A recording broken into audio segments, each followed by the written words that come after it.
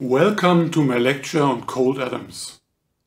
Today I will discuss evaporative cooling, which is our key method to reach the quantum degenerate regime in many experiments. After introducing the basic idea, I will present a model to describe the cooling process based on repeated steps of evaporation.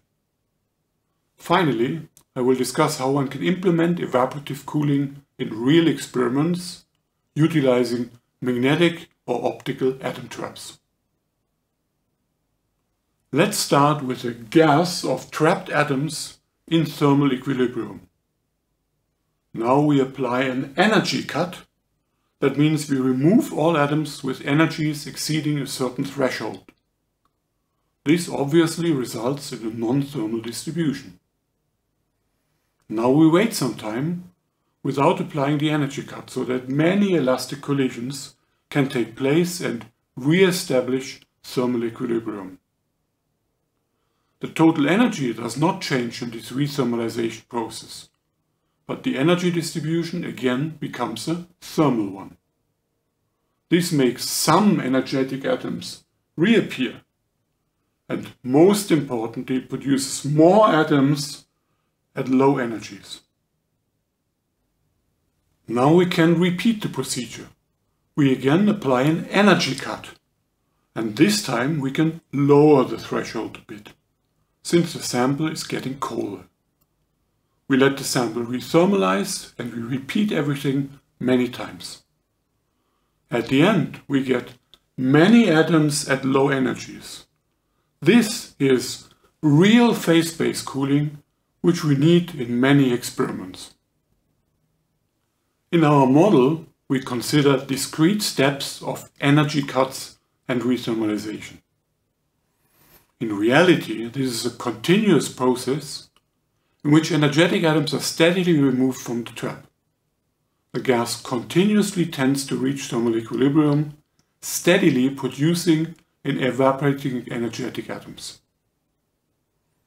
But our model captures the essential physics very well and provides us with a quantitative description of the cooling process, as we will see on the next slides. Let us start with the energy distribution of atoms in a harmonic trap, as discussed in detail in one of my earlier lectures. Here we restrict ourselves to harmonic traps, but the generalization to other potentials is rather straightforward.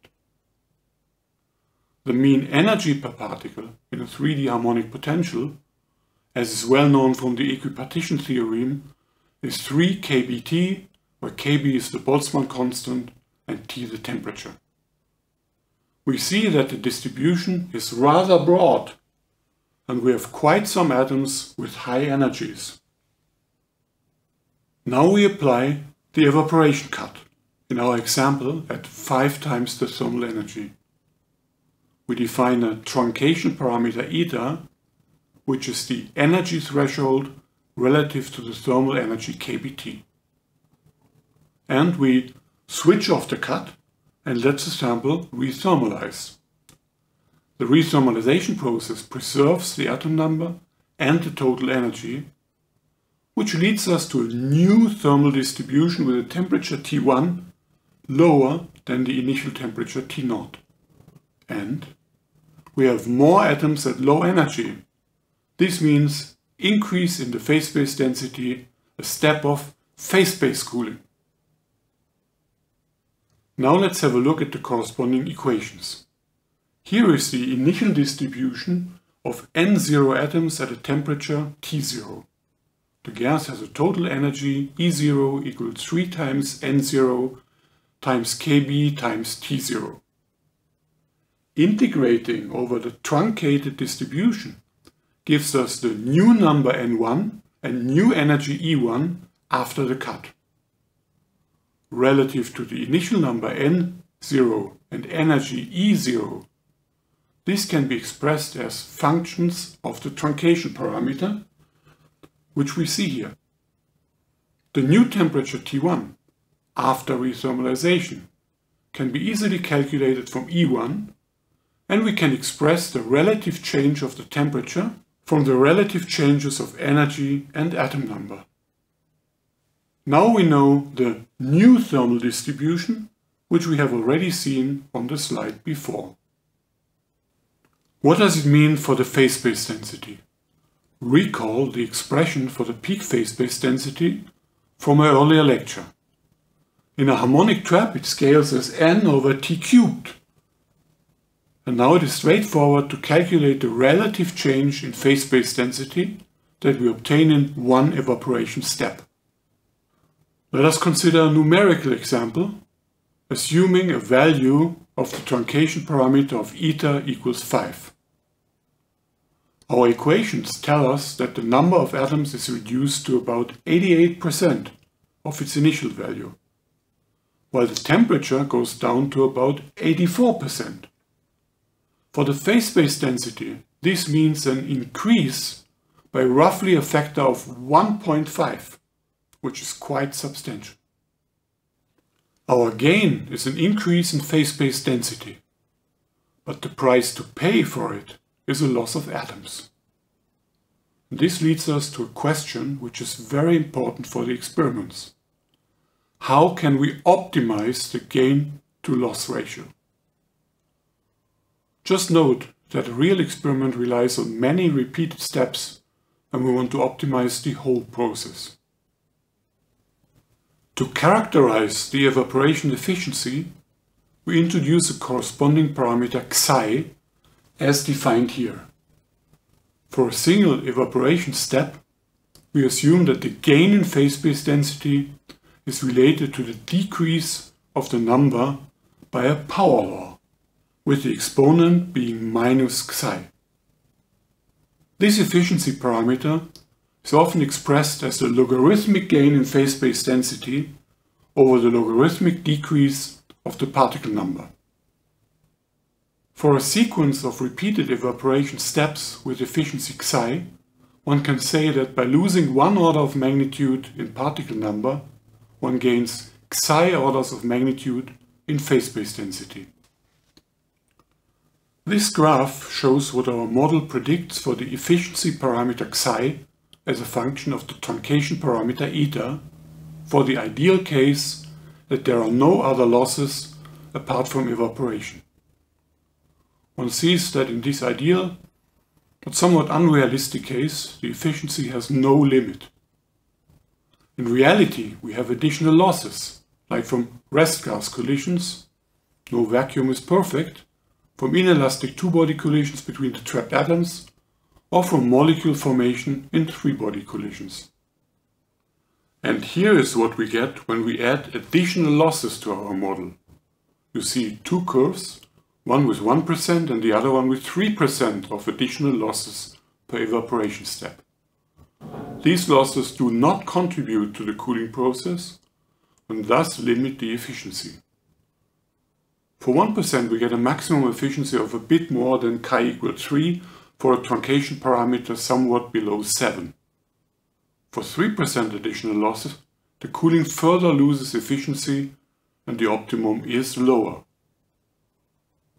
The numbers you see here are very realistic for an experiment, where one reaches typical values of 2.5 to 3 for the evaporation efficiency parameter. Now let us consider a sequence of many evaporation steps. Here is what we get for the phase space density if we repeat energy cut and rethermalization again and again. Here we keep the energy threshold for evaporation at a constant value the truncation parameter increases relative to the decreasing temperature, and by evaporating less and less atoms, the process slows down. This way of cooling with a constant energy threshold is called plain evaporation, and in an experiment it typically happens right after loading an optical dipole trap from a magneto-optical trap. Our example here assumes an initial truncation parameter of eta equals 7. The process can be made much more effective if the energy cut is adapted to the decreasing temperature so that eta stays at a constant value. Here in our example, eta equals 7. This way of cooling is called forced evaporation And this is what we usually need in an experiment for achieving a large gain in phase space density. To model a realistic experiment, let us also add some additional loss, let's say 1%. While plain evaporation stops to produce higher phase space density at a certain point, here after about 30 cycles, forced evaporation keeps going and is just a little less efficient. In the latter case, with a constant truncation parameter, we can maintain conditions for optimum efficiency.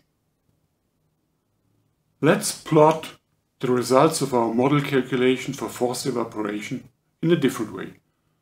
We show the gain in phase space density as a function of the relative atom number, both on a logarithmic scale. Such a double log plot is commonly used in our field and you find it in many papers on evaporative cooling, as the slope directly shows the efficiency. In our model calculation we obtain a value for xi of about 3.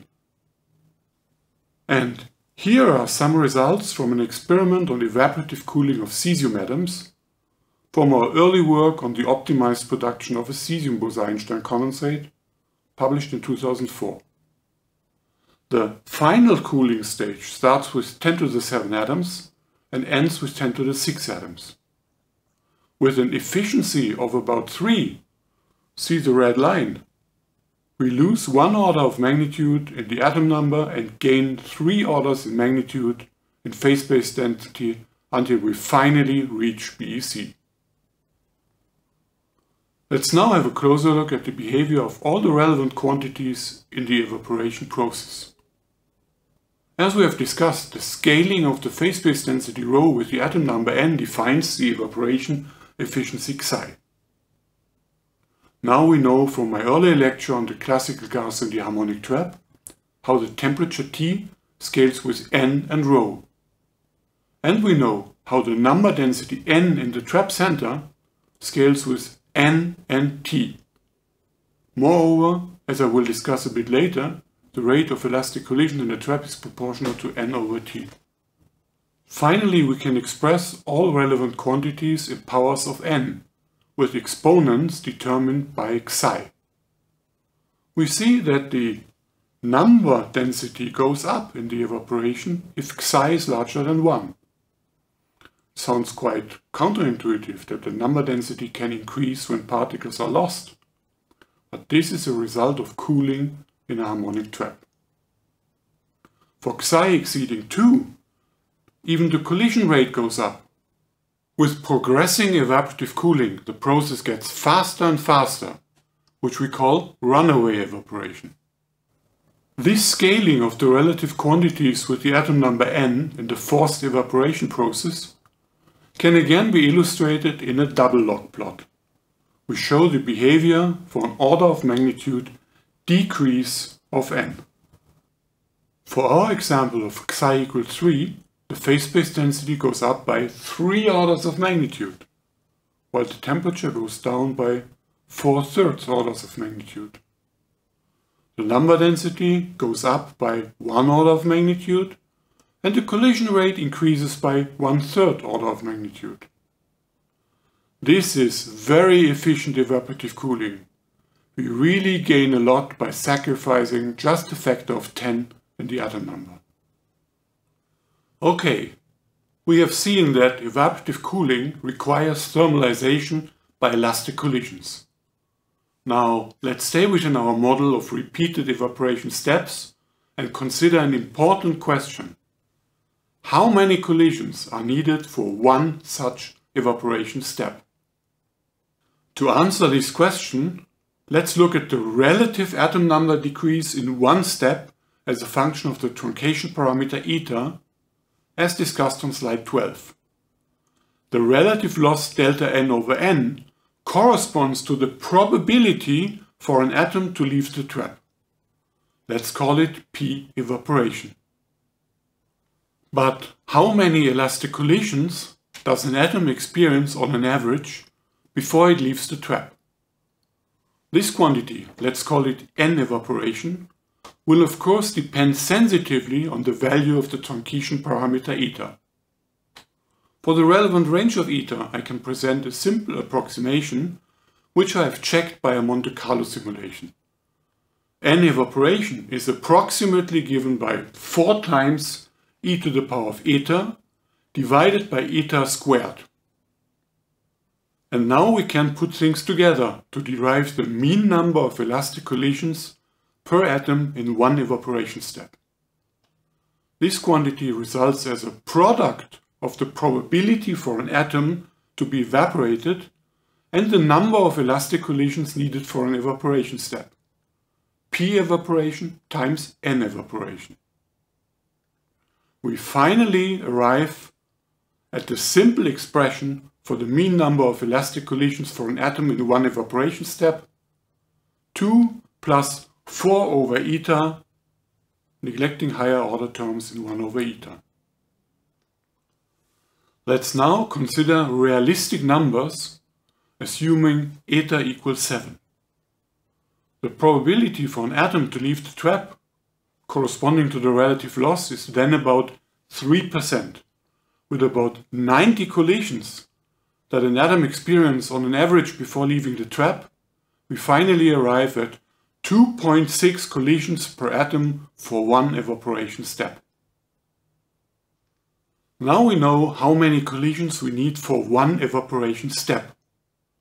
But how many collisions do we need for gaining, let's say, one order of magnitude in phase space density? On slide 20, we have already seen that for eta equals 7, we need about 18 evaporation steps. This tells us that we need approximately 50 elastic collisions for gaining one order of magnitude in phase space density. Let me note that in practice, when things are not ideal, the number may be significantly larger. Let's now turn our attention to our main enemy, inelastic collisions. While elastic collisions are good for the evaporation process, inelastic collisions are bad collisions. The latter lead to additional trap losses, which make the cooling process less efficient. Note that in a single elastic collision between two atoms, the large energy release kicks both atoms out of the trap. To estimate the required ratio of good to bad collisions, we stay with our example of eta equals 7. We have seen when discussing slide 20 that efficient evaporation permits something like an additional loss of 1% in a single evaporation step. That is, the number of inelastic collisions should stay below 0.5% of the total number of atoms. We also know that one evaporation step needs about 2.6 elastic collisions. This together gives us the required ratio of good to bad collisions, for which we obtain the large number of 500. This condition sets a stringent requirement for the scattering properties in a quantum gas.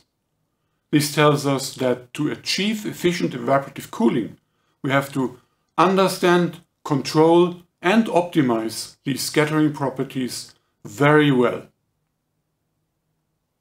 Finally, we have to discuss the time scale for evaporative cooling. And this is set by the rate at which elastic scattering takes place in the trapped sample. The elastic scattering rate per atom in a trapped sample can be calculated as a product of three factors. First, the mean sample average number density n bar, which for a Gaussian-shaped cloud is the peak density divided by square root of 8. Second, the scattering cross-section sigma, which I will discuss in a minute. And third, the mean relative velocity, which in the thermal sample is obtained by the expression shown here. From the first and the third factor, we see how the elastic scattering rate scales with number density and temperature. Or considering the harmonic trap with a total number of atoms capital N and the temperature T. The elastic scattering rate is proportional to n over T, and we have used this scaling already before on slide 23 when we discussed the evaporation efficiency. The remaining factor is the elastic scattering cross-section sigma, quantum mechanical scattering theory tells us that for identical bosons in the low energy limit, sigma is given by 8 pi times a squared, where a is the so-called S-wave scattering length. The latter is the length scale that characterizes the quantum mechanical interaction. To give an example, for rubidium-87, the scattering length has a value of slightly more than 5 nanometers. This is a typical value for the interaction between ultra-cold atoms. But depending on resonance properties, it can be much smaller or much larger. Finally, I would like to note that an elastic scattering rate on the order of 100 per second is typical for evaporative cooling experiments. A sufficiently high elastic collision rate is another requirement which is not always easy to reach in real experiments. The typical timescale for an evaporative cooling process with large gain in phase space density is something like 10 seconds, sometimes less, sometimes more, depending on the atomic species, the particular trapping scheme, and the experimental parameters. Evaporative cooling can be very powerful, but its implementation needs very careful choices of the experimental conditions and procedures. And now let's go to the lab. The question is, how can we implement evaporative cooling in a real experiment? Well, the answer depends on the particular trapping scheme. Let's first consider a magnetic trap. Here I show the magnetic potentials of the lowest hyperfine state at the example of a rubidium-87 atom. As discussed in my lecture on magnetic traps, the atoms are trapped in the low field seeking state with magnetic quantum number mf equals minus 1. The trick now is to apply a radio frequency the radio frequency is very selective and couples the Zeeman sublevels at a very well-defined three-dimensional surface in the trap.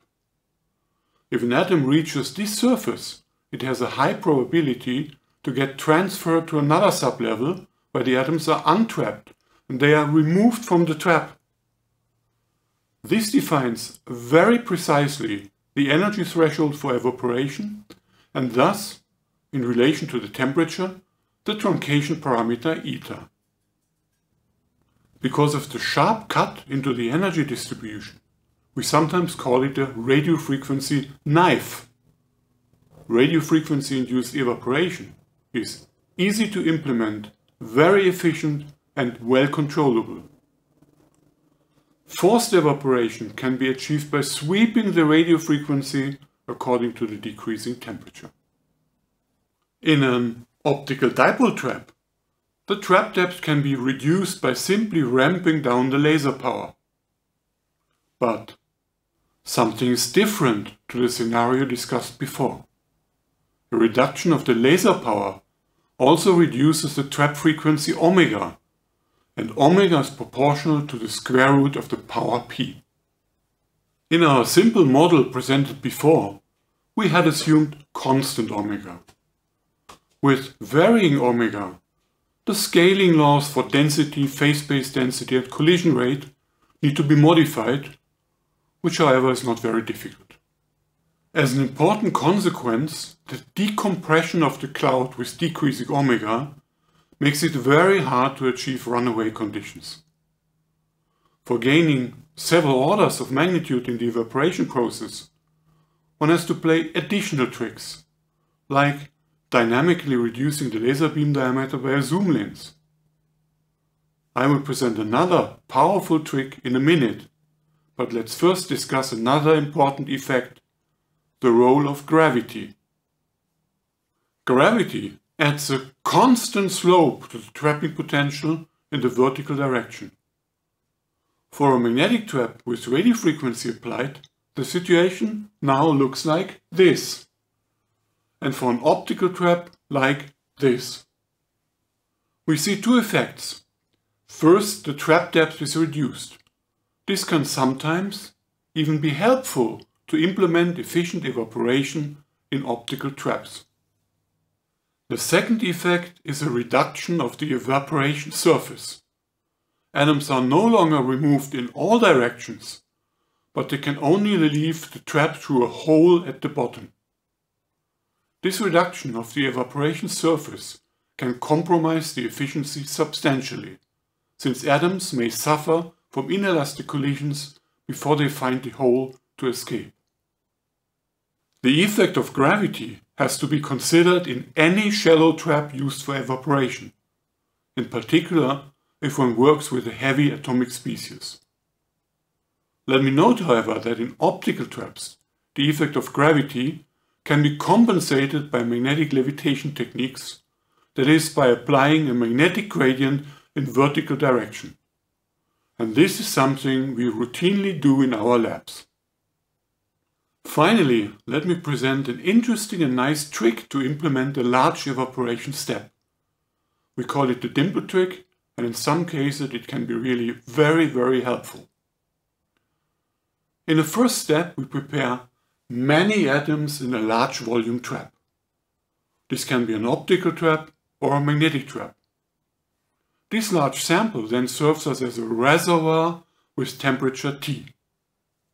The next step is to add a narrow potential well to the center, in practice realized with a tightly focused red-tuned laser beam, the power of which is ramped up slowly. This dimple is then filled by elastic collisions establishing thermal equilibrium. And now comes the key point. While the temperature stays nearly unchanged, as it is determined by the large reservoir, the locally increased potential depth leads to an enhancement, which can be understood by simply looking at the Boltzmann factor. In the final step, the reservoir trap is turned off, which removes all reservoir atoms. What remains is the narrow dimple potential, which contains a sample that is very dense and has a substantially increased phase space density. This is a very powerful trick which works like one big evaporation step and which nowadays is used in many experiments. In Innsbruck, it was an essential step in our first experiment that reached BEC of cesium atoms. And now I hope you are all well prepared for your own evaporative cooling experiments. I wish you success and fun in the laboratory.